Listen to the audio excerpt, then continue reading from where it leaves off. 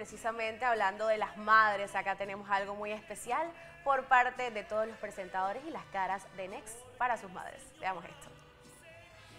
Una de las cosas que me recuerda muchísimo a mi mamá y yo estoy segura que a muchos de nosotros adultos siempre las primeras anécdotas son de algunas travesuras que hicimos cuando estábamos más pequeños. Yo ya estaba en secundaria, en los primeros años de secundaria, digamos primero o segundo año en primer ciclo, y mi mamá todavía me peinaba porque yo misma no lo hacía, se me dificultaba.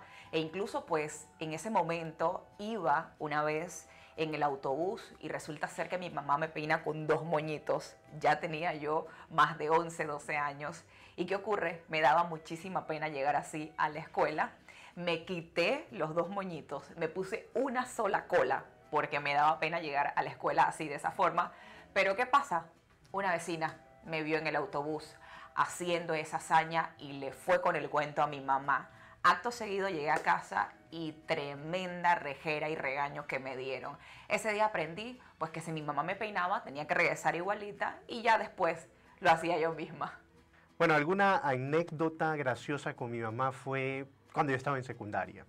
Eh, decidí fugarme un día de la escuela porque no quería llegar a dar clases. Pero cuando regreso a la casa, después de esperar el ciclo completo de las clases, llego y dice mi mamá, ¿y por qué tú no fuiste a la escuela? Es decir, me sorprendió eso y más quedé sorprendido cuando me dijo, cuando uno no quiere ir a la escuela, mejor se queda en la casa y no anda perdiendo el tiempo por las calles. Es que tengo tantas anécdotas eh, con mi madre y de verdad que, la amo muchísimo. Y esa es una de las que recuerdo porque desde, ese entonces, entonces eh, se crea ese compromiso de hablar siempre eh, con la verdad y decirle las cosas a tu madre. Y en este día tan especial, en el Día de las Madres, quiero enviarle un saludo a mi mamá y un fuerte abrazo, que ella es parte del motor también de mi vida y gran enseñanza también se la debo a ella profesionalmente también y ahora como, como papá al, al tener que criar a mis hijas y eso es lo importante, el amor de una madre no tiene edad para un hijo, siempre va a ser mamá. Bueno, con mi mamá, más que una anécdota chistosa, esa es su personalidad. Ella es muy alegórica, alegre, todo el tiempo es chiste con ella, por, porque ella es así. Es una madre santeña y es una persona muy autóctona, muy folclórica.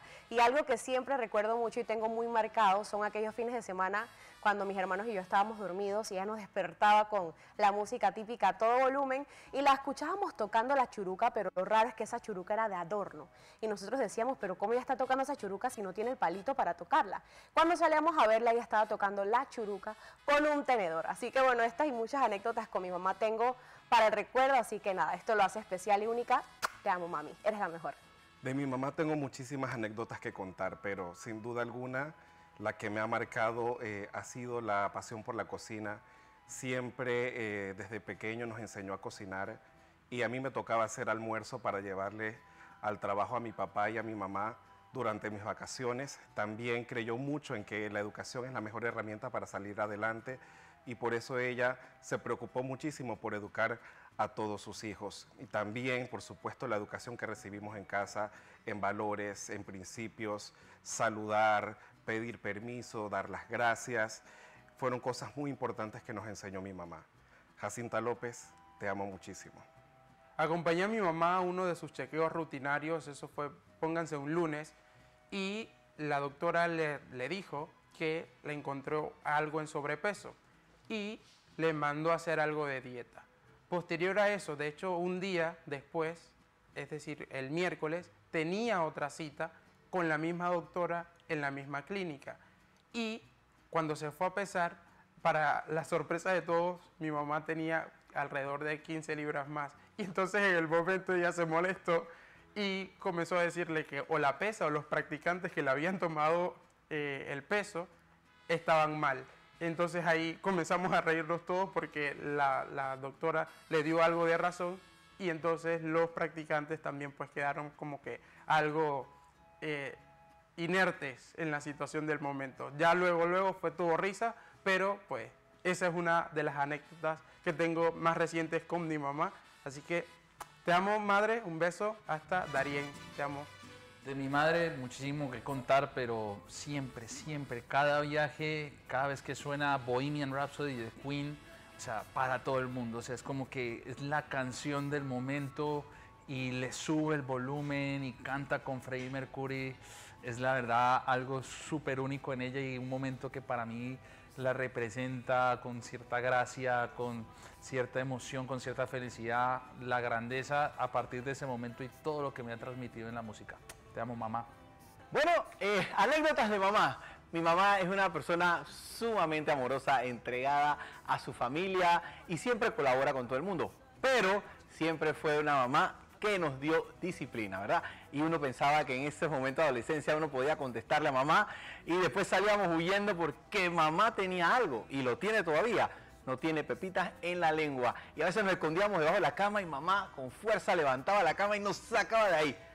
Pero agradezco hoy en día todas esas enseñanzas porque si hay algo importante en la formación de un niño, la certeza del castigo y la disciplina los hace sociedades, nos hacen personas de sociedad que nos ayudan a ser mejores cada día. Gracias mamá, te quiero mucho.